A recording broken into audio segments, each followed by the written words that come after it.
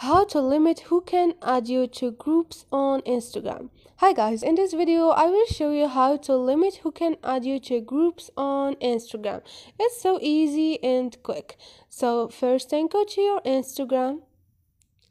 Click on your profile and click on those three lines up there. Now click on setting and click on privacy. And scroll down until you find message. Click on it and you have uh, group chats. Who can add you to group who can add you to groups? Click on who can add you to groups and choose. Everyone on instagram or only people you follow on instagram. Uh, i'm gonna click on only people i followed on instagram. So now uh, only people I follow on Instagram who can add me on groups chat.